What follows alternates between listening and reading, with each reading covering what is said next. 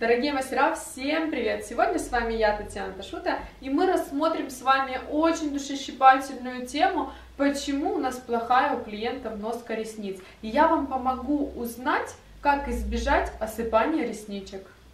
Дорогие мастера, мы с вами умеем управлять реальностью. Так почему бы нам интеллектуально не научиться управлять ноской ресниц? Сегодня мы с вами рассмотрим три пункта, которые помогут нам искоренить плохую носку ресниц. Дорогие мастера, один из первых пунктов, которые мы с вами будем рассматривать, это качественная очистка ресниц. Но иногда для кого-то кажется, что это такая мелочь, очистка ресниц, но я сейчас смогу вас полностью переубедить в обратном. Если мы рассмотрим ресницу под микроскопом, она имеет действительно чешуйки. Это верхний слой, который покрывает ресницу. Этот слой очень сильно забивается ороговевшими клетками самой ресницы, ороговевшими клетками кожи и эпителия вокруг зоны ресницы. Это все полностью набивается и закрывает эти чешуйки. Далее, муциновый слой. После сна у каждого клиента выделяется, вы знаете, какая-нибудь слизь, возможно. Это все также попадает на наши реснички. Это называется муциновый слой.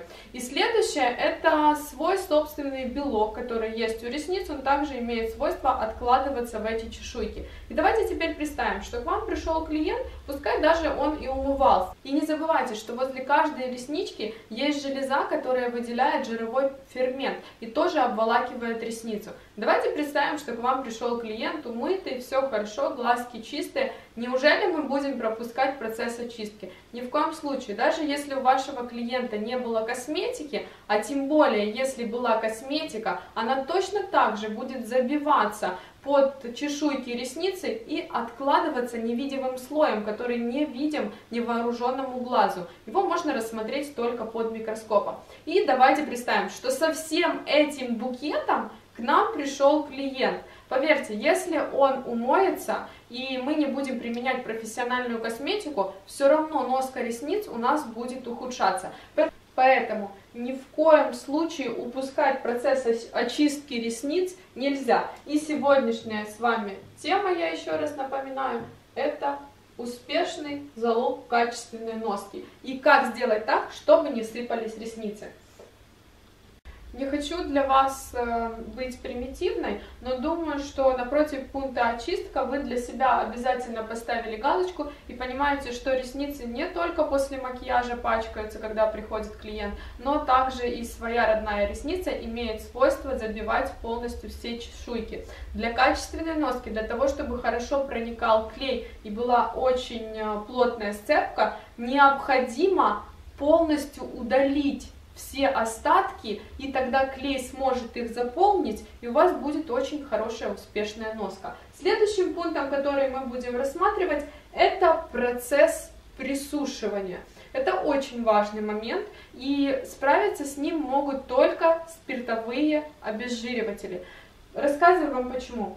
Спирт имеет свойство забирать влагу, высушивать ресницу, и после того, как вы сделали качественную, офигенную, классную очистку ресниц, у вас остаются чешуйки, но у вас у ресницы остается все равно ее натуральная влага. То есть 3% в средний, это средний показатель, у клиента находится влаги на его реснице.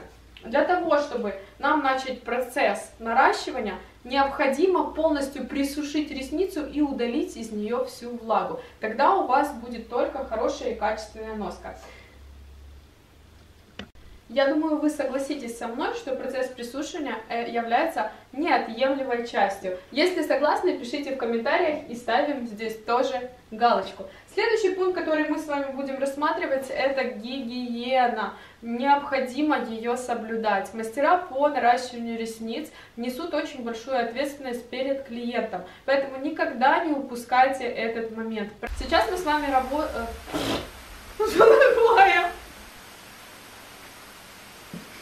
Сейчас мы с вами говорим о очень важных моментах, для того, чтобы у нас была успешная и качественная носка. И дошли к пункту гигиена. Но я бы хотела ваше внимание обратить на то, что лэш-мастера, пожалуйста, обращайте внимание на то, как вы подходите к этому пункту. Потому что гигиена должна заключаться не только в том, что вы нанесли там средства для, для дезинфекции на реснички, но также вы должны полностью дезинфицировать зону, с которой вы работаете. Это можно использовать вот такие специальные дезинфекторы и протирать поверхность, ваши тумбочки, ваше рабочее место. Следующее, что необходимо сделать, это дезинфекция ваших инструментов. Есть такие средства, как сурфаниоз и амиоз.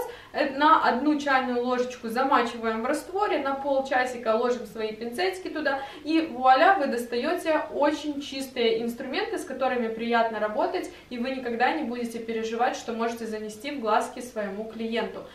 Также хочу обратить ваше внимание на экспресс-дезинфекцию для ручек. Я ее подбирала специально для себя, это очень важно, потому что каждый из мастеров должен беречь свои ручки для того, чтобы они не шелушились, чтобы наша кожа с возрастом сохранялась максимально красивой, бархатистой. И этот дезинфектор специально разработан для рук, вы можете его смело использовать и не переживать за свою кожу.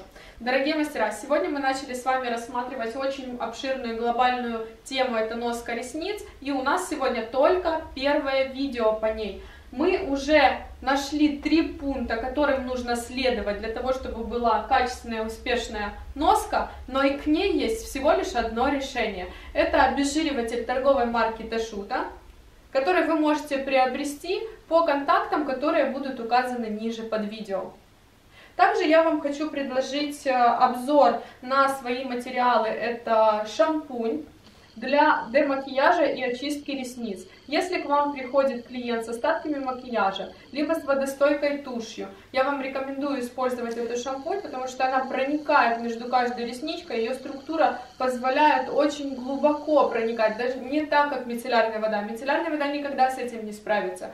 А, и после этого вы уже приступаете к процессу обезжиривания ресниц. На этом мое видео подходит к концу.